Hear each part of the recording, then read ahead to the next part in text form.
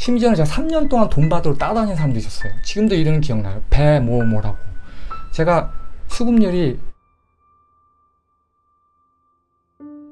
안녕하세요. 이제 채널 이남주입니다. 아, 오늘은 제가 유학 준비했을 때 어떤 의미에서 보면은 이제 여러분들 중에서 꼭 유학을 준비 안 하더라도 내가 하나의 목표를 갖고 쭉 뭔가 이제 이렇게 컨벌지, 그러니까 다른 집, 다른 박질해 가면서 이제 목표에 도달하는 거죠. 그게 쉽게 되면 남들도 다 할 수 있겠죠. 근데 어려운 만큼 진입 장벽도 높아지고 내가 그거를 하는 이제 그런 그 가치도 더 부여가 되겠죠. 그래서 저 같은 경우에는 제 인생에서 여러 가지 도전들이 있었는데 그 중에 이제 하나가 이제 유학 준비했던 거고 유학을 나이 먹어서 준비를 하면서 많이 힘들었었는데 제가 예전에 창업할 때부터 도와줬던 형이 있어요.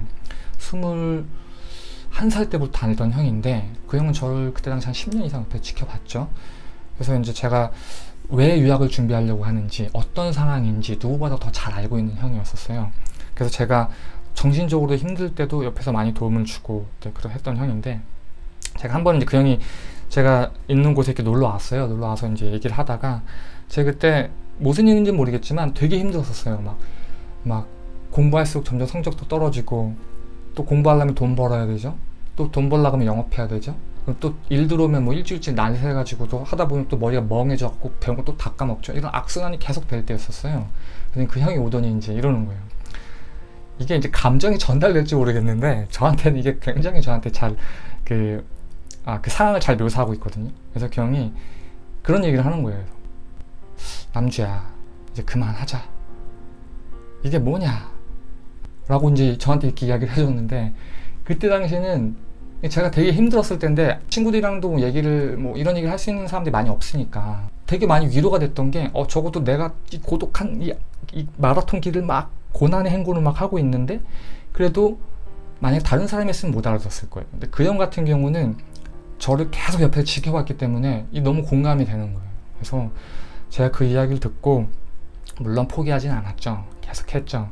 근데 이제 그런 마음은 들더라고요. 아, 그래도 이게 진심으로 좀 응원해주는 사람들이 좀 있구나. 그런 응원들 때문에 내가 좀더 시간을 많이 투자했는데 조금만 더 투자해가지고 그 사람들한테 조금 이렇게 당신이 나를 지지해주고 나를 응원해줘서 여기까지 갈수 있어 여기까지 올 수 있었어요 라는 어떤 그런 선물 보답을 해주고 싶었던 마음이 굉장히 컸어요 그래서 여러분들 중에서도 시도하는데 계속 안 되고 힘들고 모르겠어요. 요즘 제가 90, 90년생들 그 젊은 친구들에 대해서 막 공부를 하고 있는데 모르겠어요. 이게 저의 하나의 개인적인 주관적인 의견인데 그냥 요즘 친구들 같은 경우는 여러분 제 말을 조심하게 해야 되는데 다 그런 건 아니고 이거 제가 굉장히 편협적으로 보는 이제 하나의 시각인데 제 관점으로 탁 꼬집어 가지고.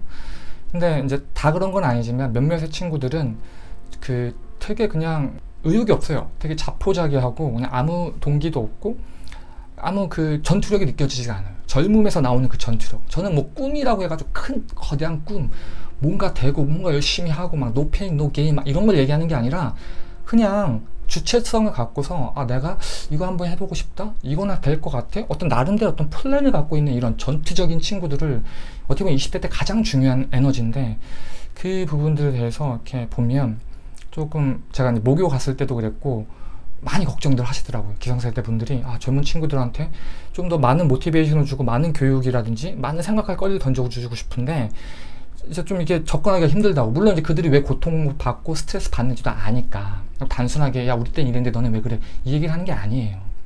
그래서 어떤 그런 좀 고난의 행군, 어떤 사막을 걷고 있는, 아무도 날 쳐다봐 주지 않는 그런 길을 걷고 있는 친구들이 있다고 친다면, 예, 주변에서 이제 나 말고도 동일한 그런 길들을 걸어갔던 선배들도 있고, 또 후배들도 있을 거고, 친구들도 있을 거고. 그래서 진짜 그 위로의 말, 그만하자. 이게 뭐냐. 어? 지금 네 상황이 뭐냐, 이게. 어? 어? 그때 당시엔 진짜 답이 없었어요. 저도 솔직히 포기하고 싶어도 너무 많은 걸 버리고 백업 플랜 없이 그냥 달린 거기 때문에 진퇴양락. 지금 돌이켜보면 저는 안 할 것 같아요. 안 할 것 같아요.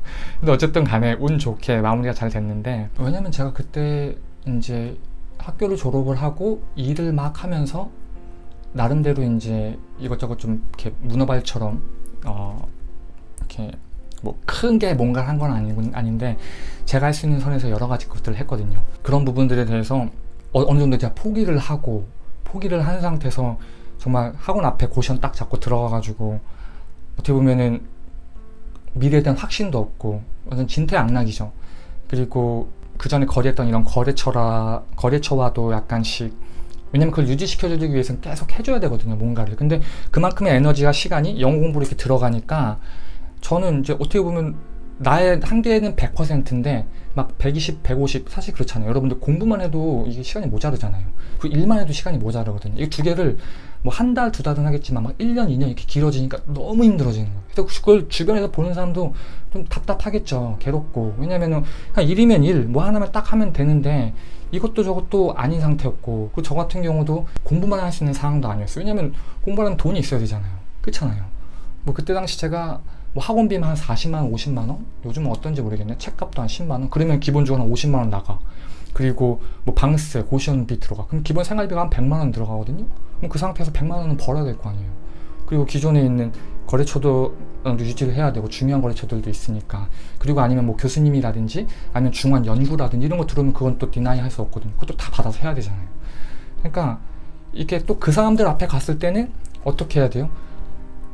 각각의 profession이 있기 때문에 거래처와 만났을 경우엔 아, 난 여전히 열심히, 열심히 일을 하고 있고 과거의 quality를 유지하고 있고 뭐 교수님들이라든지 연구 이런 단체들 만나게 되면은 아, 난 여전히 계속 이쪽에 대해서 cutting edge 그런 그 연구들을 하고 있고 이런 것들을 다 어떤 모양적인 측면을 보여줘야 되는 것뿐만 아니라 내용적으로도 뭔가를 만들어서 보여줘야 되거든요. 그러니까 그런 프레셔 압박감들이 굉장히 많이 있었던 거예요. 그래서 그걸 옆에서 보면은 답답하겠죠. 네. 그래서 그 형도 저한테 이제 반 답답함 혹은 반 걱정 기대도 있었겠지만 너무 먼 이야기였고 그랬었죠. 젊었을 때 뭐 고생은 사서 한다 이런 얘기 하고 싶지 않아요. 저는 제가 하고 싶은 얘기 뭐냐면은 젊었을 때의 어떤 그 에너지, 그 폭발적인 에너지와 그 흥미 그런 것도 우리가 잘 유도해 가지고 미래에 대해서 좀 더 물론 저는 가끔가다 이렇게 상담을 받을 때 꼭 성공해야 되냐, 꼭 잘해야 되냐, 이런 거, 이런 거 중요하지 않아. 행복한 게 중요한 거예요, 행복한 게. 근데 행복하려면, 우리는 아, 행복해, 행복해, 이렇게 정진승리할 수도 있겠지만, 행복하려면 어떻게 돼요? 돈도 있어야 되고, 자기 직업에 대한 어떤 기쁨도 느껴도 여러 가지들이 좀 복합적으로, 기본적으로 깔려줘야 되는 거잖아요. 그러려면, 내 안에 있는 적, 그 내 안에 있는 어떤 그, 그 무기력감, 이런 것들을 좀 벗어나서, 진짜 좀 진취적이고 좀 청년만이 가질 수 있는, 아, 이런 그 포부라든지 이런 전투력을 조금 어, 되찾아야 되지 않을까.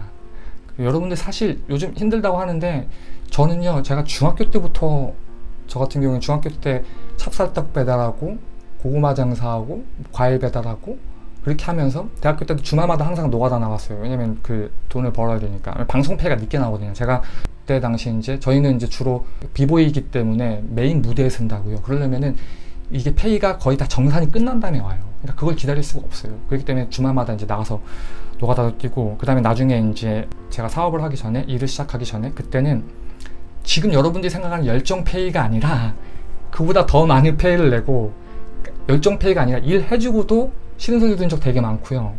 심지어는 제가 3년 동안 돈 받으러 따다니는 사람도 있었어요. 지금도 이름은 기억나요. 배모모라고. 제가 수급률이 수급률이 한 6, 70%도 안 됐었어요. 네. 그렇게 이제 뚫고 뚫고 보다가 아 이게 인간들의 세상이 원래 이렇구나 라는 걸 깨닫고 차라리 그냥 내가 다른 투자를 하자 평생 이렇게 되면은 이렇게 될 것 같으니까 답이 없으니까. 아무리 목소리 낸다고 사회가 바뀌지 않거든요. 물론 바뀌면 좋겠죠. 좋은 사회를 후배들한테 물려주면 좋겠죠. 어쨌든 뭐 말이 좀 샜는데 저가 그 힘들 때 좀 이 단어가 남주야 그만하자. 이게 뭐니? 이 단어가 별거 아닌 것 같지만 저한테 굉장히 가슴에 와닿았거든요. 그래서 혹시나 비디오를 보시는 여러분들 중에서도 이 단어가 여러분에게 좀 힘이 되지 않을까 라고 해가지고 이렇게 영상을 만들어 올립니다. 감사합니다